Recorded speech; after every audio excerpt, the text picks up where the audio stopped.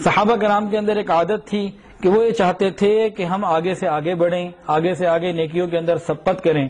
ہماری خواہش یہ ہوتی ہے کہ خوبصورتی میں آگے ہوں، کپڑا ہمارا اچھا ہو۔ کل خاتون کا فون آیا، کہنے لگی جب ہم برتھ ڈے میں شرکت کرتے ہیں کسی پارٹی میں، تو جو بڑا گفٹ دیتا ہے اس کی قیمت، اس کی عزت زیادہ ہوتی ہے۔ میرے پاس مال وسائل کم ہے چھوٹا گفٹ دیتی ہوں، تو میری وہاں پہ قیمت کوئی نہیں ہوتی، لوگ مجھے اچھی نظر سے نہیں دیکھتے۔ یعنی ہماری ساری باتیں کیا ہیں؟ ہم سبقت کس میں لینا چاہتے ہیں مادی چیزوں میں؟ کہ گفٹ میں اب برتھ ڈے تو منانا، نبی کریم صلی اللہ علیہ وسلم کا تو شیوا نہیں تھا۔ اسلام میں تو اس کی کوئی ترغیب نہیں دی گئی، کچھ بھی نہیں بتایا گیا۔ غیروں کی بات ہے۔ لیکن بات کرنے کا مقصد یہ تھا، ہم یہ چاہتے ہیں کہ دنیا کی چیزوں میں ترقی ہو، گاڑی ہماری اچھی ہو، گھر ہمارا اچھا ہو، زیور ہمارا اچھا ہو، کپڑے ہمارے اچھے ہوں، ہم کہیں کچھ دینا چاہیں تو ہم ہمارے پاس اتنی گنجائش ہو کہ سب سے بڑی چیز دے سکیں تاکہ ہمارا نام ہو۔ حضرات صحابہ کی کیا ترتیب تھی؟ صحابہ کرام اللہ رب العزت کے ہاں بڑا مقام پانا چاہتے تھے، اس لیے نیکیاں کرنا چاہتے تھے۔ انہیں معلوم تھا، یہ دنیا چھوڑ کے جانا ہے، یہاں رہنا نہیں، یہ دھوکے کا گھر ہے۔ کوئی یہاں باقی نہ رہا، ہم بھی باقی نہیں رہیں گے۔ جب ہمارے سے پہلے والے چلے گئے، تو ہم کیسے رہ سکتے ہیں؟ ہم نے بھی جانا ہے۔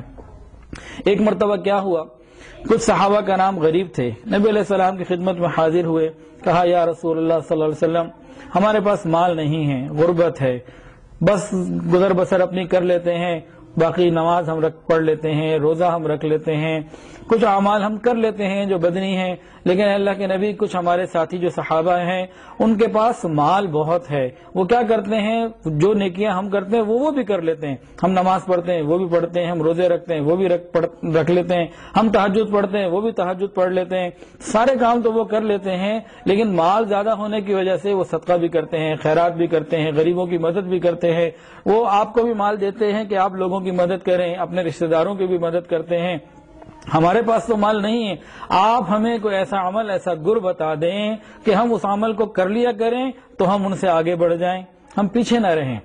تو نبی علیہ السلام نے ان کو ارشاد فرمایا کہ ہر نماز کے بعد تینتیس مرتبہ سبحان اللہ، تینتیس مرتبہ الحمد اور چونتیس مرتبہ اللہ اکبر پڑھ لیا کرو۔ اللہ بڑے بڑے بلند درجات عطا فرما دیں گے۔ صحابہ کرام نے کرنا شروع کر دیا۔ اب نماز کے بعد جو غریب صحابہ پوچھنے گئے تھے، اب وہ خاموشی سے کوئی ادھر بیٹھا پڑ رہا ہے، کوئی ادھر بیٹھا پڑ رہا ہے۔ جو دوسرے صحابہ تھے نا، جن کے پاس مال تھا، آخر وہ بھی تو اللہ کے محبوب بننا چاہتے تھے۔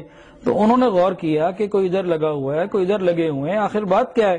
تو وہ بھی کٹوں میں لگ گئے۔ تو انہوں نے چند ہی دنوں میں معلوم کر لیا کہ بھئی یہ لوگ تو نبی علیہ السلام سے بلندی دراجات کا ایک اعلیٰ نسخہ لے کر آئے ہیں۔ اس پر عمل کر رہے ہیں تاکہ قیامت میں آگے بڑھ جائیں، نیکیوں میں آگے بڑھ جائیں۔ تو ان کو جیسے پتہ لگا کہ بلندی دراجات کا یہ نسخہ ہے کہ ہر نماز کے بعد تینتیس تینتیس اور چونتیس مرتبہ اللہ کو پکارنا، تو اللہ کا نام لینا۔ سبحان اللہ الحمد اللہ اکبر۔ تو جناب انہوں نے بھی کرنا شروع کر دیا۔ اب وہ جو غربا صحابہ تھے، غریب لوگ تھے، وہ بڑے پریشان ہوئے کہ بھئی یہ تو ہماری چیز تھی، ہم اپنے لیے لے کر آئے تھے کہ ہم بڑے درجات لیں، تو یہ تو یہاں بھی ہمارے ساتھ شریک ہو گئے، اب ہم کیا کریں؟ ابھی غریب صحابہ نبی علیہ السلام کے پاس پھر حاضر ہوئے۔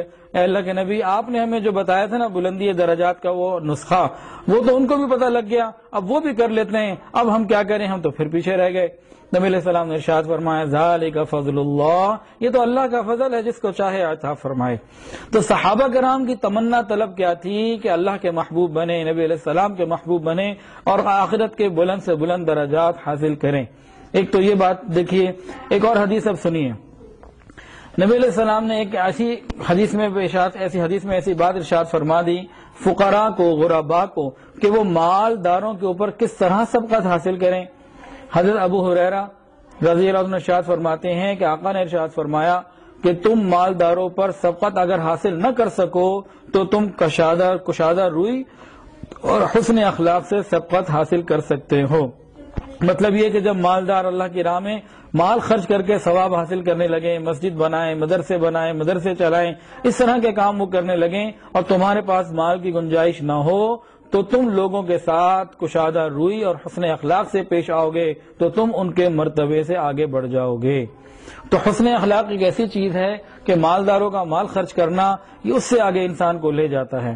اور آج ہمارا کیا ہے کہ ہم میں سے کتنے لوگ ایسے ہیں جو لوگوں کی زندگیوں کو جہنم بنا کر سجدوں میں جنت تلاش کرنے کی کوشش کرتے ہیں۔ ایسے جنت نہیں ملتی۔ میزان اعمال میں سب سے زیادہ وزن کس اعمال کا ہوگا؟ یہ بھی تو ہمیں پتا ہونا چاہیے نا کہ قیامت کے دن ہمارے اعمال، ہم نے نماز، روزہ، حج زکات جتنے اعمال ہم کرتے ہیں، قیامت کے دن جب پلڑے میں اعمال تو لے جائیں گے تو کس عمل کی قیمت زیادہ ہوگی؟ کس کا وزن زیادہ ہوگا؟ یہ سنیے۔ حضرت ابو دردا رضی اللہ سے روایت ہے، نبی علیہ السلام نے ارشاد فرمایا کہ سب سے زیادہ ترازو میں جو عمل وزنی ہوگا وہ حسن اخلاق ہیں، بحقی شریف کی روایت ہے۔